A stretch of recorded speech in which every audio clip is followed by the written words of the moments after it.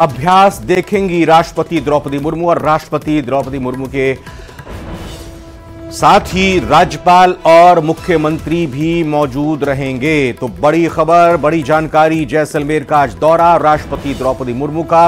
और बस अब कुछ ही देर बाद जैसलमेर में राष्ट्रपति द्रौपदी मुर्मू पहुंचेंगी। पोखरण फायरिंग रेंज में ये युद्ध अभ्यास होगा, जो कि राष्ट्रपति देखेंगी द्रौपदी मुर्मू और राष्ट्रपति के साथ साथ राज्यपाल और मुख्यमंत्री, यानी राज्यपाल कलराज मिश्र और मुख्यमंत्री भजनलाल शर्मा भी इस दौरान मौजूद रहेंगे।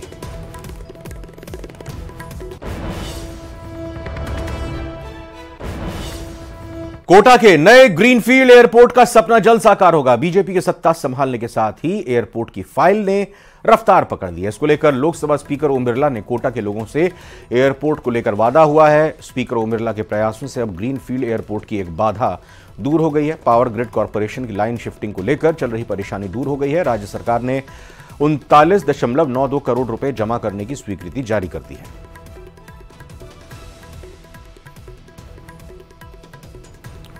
और कोटा संभाग के सबसे बड़े एमबीएस अस्पताल के दवा काउंटर के कार्मिकों ने आज कार्य बहिष्कार कर दिया है। कंप्यूटर ऑपरेटर समेत अन्य ठेका कर्मियों ने वेतन भुगतान की मांग को लेकर हड़ताल की हुई है। ठेका कर्मियों ने एमबीएस अस्पताल की नई बिल्डिंग के बाहर नारेबाजी कर प्रदर्शन किया और आक्रोश जताया। ठेका कर्मियों के कार्य बहिष्कार से व्यवस्थाएँ बिगड़ने लगी हैं। दवा काउंटर पर मरीजों और उनके परिजनों की लंबी कतारें लग गई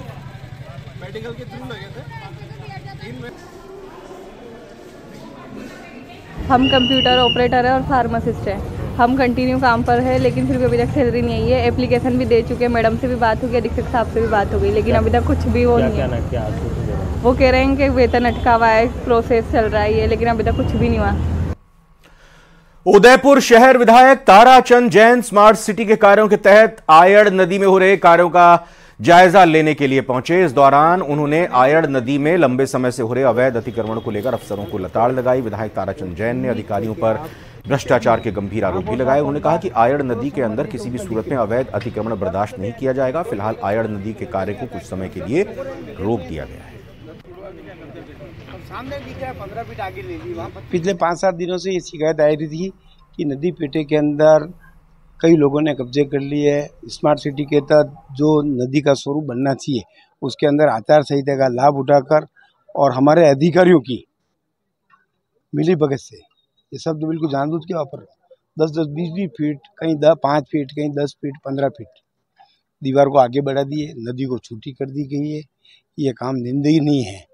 मैं प्रयास करूँगा, आज महापौर साहब से बात करूँगा, कलेक्टर साहब से बात करूँगा और आर संबंधित अधिकारी आए हैं, उनको ये कहा भाई जहाँ नदी का पुराने वर्षों पहले जो नदी को चिन्हित की गई है, वहीं पर ये बाउंड्री वाल बने। और अब ये खबर अजमेर से, जहाँ रामगंज थाने में एक लाख पचहत्तर हज़ार रुपए की ऑनलाइन ठगी का मामला सामने आया। पीड़ित ने बैंक डिटेल और अन्य जानकारियाँ साझा की थी, जिसके बाद खाते से रकम गायब हो गई। रामगंज थाना पुलिस मामले की तफ्तीश में जुटी हुई है। पीड़ित संजय सामरिया ने बताया कि उनके पास व्हाट्सएप के ज़रिए Amazon global recruitment India B नाम से मैसेज आया और प्रोडक्ट ऐड करने और कॉन्टैक्ट बढ़ाने की बात को लेकर कमाई की बात कही गई। इसे लेकर कुछ पैसे जमा करने के लिए बैंक डिटेल और अन्य जानकारियाँ भी ली गई, जिसे उन्होंने दे दिया। कुछ दिन बाद ही उनके खाते से एक लाख पचहत्तर हज़ार रुपए निकाल लिए गए। जब उन्होंने बैंक से जानकारी ली तो सामने आया कि उनके साथ ऑनलाइन धोखाधड़ी हो गई है। पीड़ित ने संबंध में रामगंज थाने में शिकायत दर्ज कराई है। पुलिस मामले की जाँच में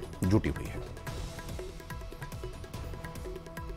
नगर निवासी है, संजय नामक व्यक्ति आया था, जो कह रहा था कि मेरे व्हाट्सएप नंबर पर कोई अमेजन ग्लोबल से प्रोडक्ट ऐड करने का मैसेज आया। और इसमें आप ग्रुप जोड़ो ग्रुप से कुछ पैसे आप लगाओ, हम उसको आपको पैसे दे, देंगे। तो इसने कोई पहले शुरू शुरू में पाँच एक हज़ार रुपये कुछ किए, उसको, इसको वापस पैसे रिफंड भी हो गए। फिर बाद में इसने करीबन एक लाख पिछहत्तर हज़ार रुपये लगा दिए। फिर वो करा, मैंने उनसे कहा तो उन्होंने कहा कि तीन लाख रुपये और लगाओ। तब इसने सोचा कि भाई मेरे साथ कोई धोखाधड़ी हो रही है तो ये आकर मुकदमा दर्ज कराया प्रतापगढ़ में दो दिन पहले पुलिस पर फायरिंग करके फरार हुए बदमाश की तलाश में पुलिस ने आज सुबह अखेपुर गाँव में दबिश दी है और मादक पदार्थ और हथियार तस्करी के मामले में कुख्यात इस गाँव के तार कई आप, कई बड़ी आपराधिक वारदातों से इस कुख्यात के तार जुड़े हो सकते हैं। एसपी अमित कुमार के निर्देशन में पुलिस के 250 से ज़्यादा जवान और अधिकारी इस अभियान में शामिल हैं। देविल्दी गाँव में दो दिन पहले फायरिंग के आरोपी भैयू लाला उर्फ़ नूर अफजल को पकड़ने पुलिस टीम पहुँची तो यह बदमाश पुलिस पर फायरिंग कर फरार हो गया था। पुलिस ने आज अखेपुर गाँव में बड़ा ऑपरेशन चलाया और पूरे गाँव की घेराबंदी की गई। पुलिस की 35 टीमें उन मकानों की तलाशी लेने में जुटी हुई हैं, जहाँ अपराधियों के छुपने की आशंका है। पुलिस को आशंका है कि इन घरों से बड़ी मात्रा में मादक पदार्थ और हथियारों की खेप मिल सकती है।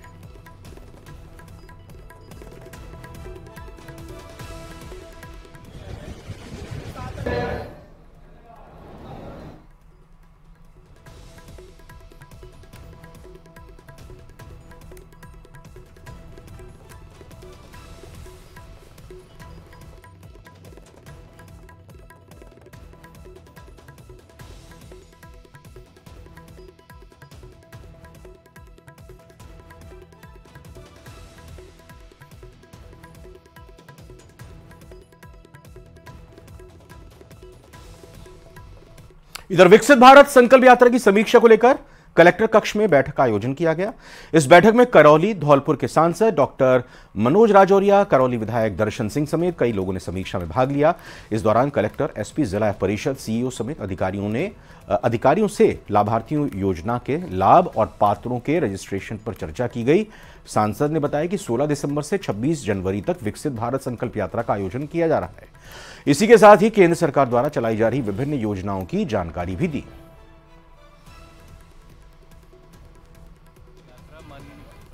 नरेंद्र मोदी जी की गारंटी की योजनाओं को गांव-गांव तक पहुँचाने का जो कार्यक्रम चल रहा है, उसकी एक समीक्षा बैठक थी, जिसमें मेरे साथ में माननीय विधायक श्री हंसराज मीणा जी, श्री दर्शन सिंह गुजर जी, जिला कलेक्टर, एसपी, सीओ समेत अन्य अधिकारी थे।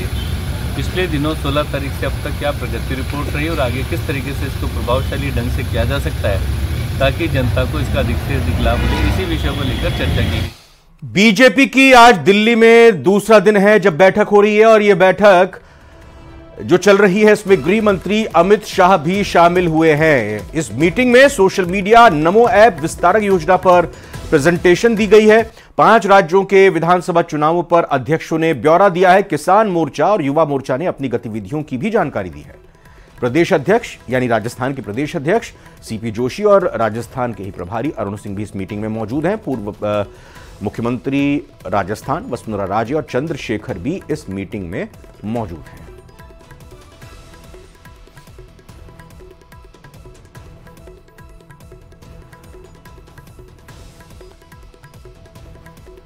राजधानी जयपुर में 5 जनवरी से अट्ठावनवीं all India DGP IG conference होगी और ये कॉन्फ्रेंस तीन दिन तक चलेगी। इसमें केंद्रीय सुरक्षा एजेंसियों के आला अधिकारी शामिल होंगे। इसमें पीएम, केंद्रीय गृह मंत्री भी होंगे शामिल। जयपुर में all India DGP IG conference की तैयारियाँ शुरू हो गई हैं। राजस्थान में नई सरकार बनने के बाद पहला बड़ा आयोजन जनवरी में होने जा रहा है और हर साल आयोजित होने वाली डीजीपी कॉन्फ्रेंस की मेजबानी इस बार राजस्थान को मिली है। पाँच जनवरी से लेकर सात जनवरी तक कॉन्फ्रेंस राजस्थान इंटरनेशनल सेंटर में होगी। कॉन्फ्रेंस में शामिल होने के लिए पीएम मोदी फिर से जयपुर आ रहे हैं और इस बार वो जयपुर से देश को बड़ा संदेश देने वाले हैं। प्रधानमंत्री नरेंद्र मोदी से पहले केंद्रीय मंत्री अमित शाह के भी जयपुर आने का कार्यक्रम प्रस्तावित है। इनके साथ ही राष्ट्रीय सुरक्षा सलाहकार अजीत डोभाल भी कॉन्फ्रेंस में शामिल होंगे। अब बताया जा रहा है कि अमित शाह के जयपुर में तीन दिन रुकने का कार्यक्रम है। वो पीएम मोदी के डीजी, आईजी कॉन्फ्रेंस को संबोधित करने के दौरान भी मौजूद रहेंगे। पुलिस अधिकारियों के साथ होने वाली बैठक में सीएम भजनलाल शर्मा, पीएम मोदी और अमित शाह के दौरे को लेकर तैयारियों को अंतिम रूप दिया जा रहा है।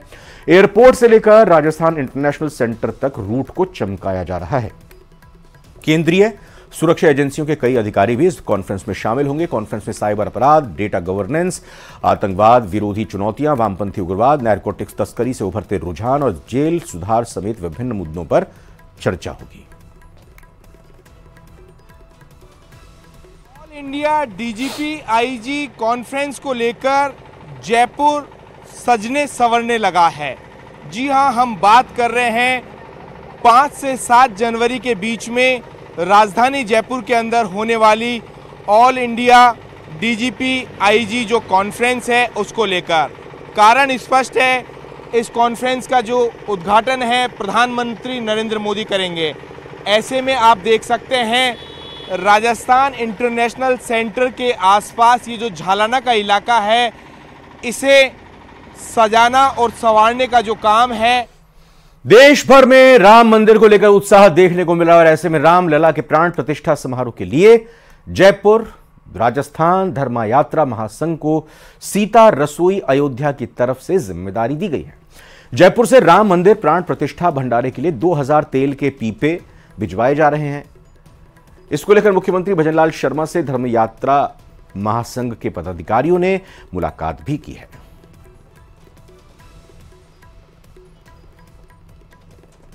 एक लाख साधु संतों का और राम भक्तों का।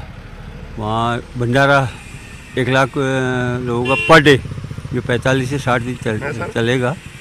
और राजस्थान में धर्मयात्रा महासंघ को ये दायित्व दिया है। वहाँ दो हज़ार पीपे भेज रहे हैं। तो वो इकतीस तारीख को भेजने का शेड्यूल बना रहे हैं। तो उसकी परमिशन इनके हरी झंडी दिला करके इनके द्वारा वहाँ भेजने का ये कार्यक्रम। भीलवाड़ा में बीजेपी पार्षद ने आत्महत्या की कोशिश की। आत्महत्या की कोशिश से पहले पार्षद ने खुद का वीडियो बनाया। वीडियो में पार्षद ने कुछ लोगों पर धमकाने और प्रताड़ित करने का आरोप लगाया है। पार्षद ने भगत सेन और उनके परिवारजन पर आरोप लगाया है। इसके अलावा निर्मल भट्ट, प्रदीप सिंघवी समेत अन्य पर आरोप लगाया है। फ़िलहाल बीजेपी पार्षद उदयलाल की तबीयत खराब होने के चलते जिला अस्पताल में भर्ती किया गया है।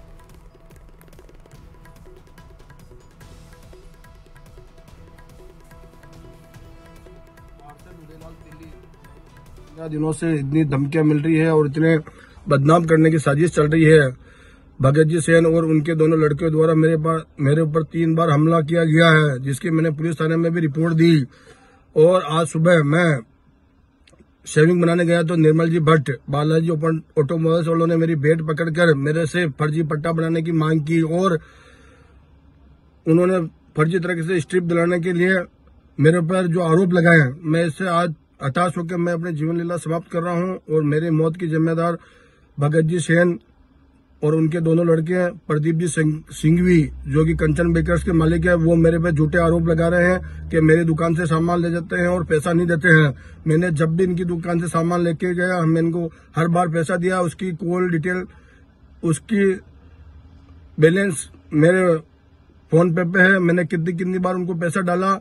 इस तरह से मेरे को नाजायज परेशान करके बदनाम करने की जो कोशिश की जा रही है, और निर्मल जी भट्ट और प्रदीप जी सिंघवी और भगत जी एक जो भी मेरे को इतना परेशान कर दिया है, और निर्मल जी और प्रदीप जी एक भू माफिया है। इन्होंने मेरे को फर्जी तरीके से जो काम बताए हैं, वो मैं नहीं कर पाया। इसके कारण आज सुबह इन्होंने मेरी भेंट पकड़कर मेरे साथ जो वार्ड वार्ड वासियों के सामने और पूरे लोगों के सामने मेरे को बदनाम किया, जिससे मैं हाथ होकर मैं अपने जीवन लीला समाप्त कर रहा हूँ। पर सूचना मिली कि पार्षद उदयलाल तेली ने जहर खाकर आत्महत्या का प्रयास किया, जिस पर हॉस्पिटल पहुँचे।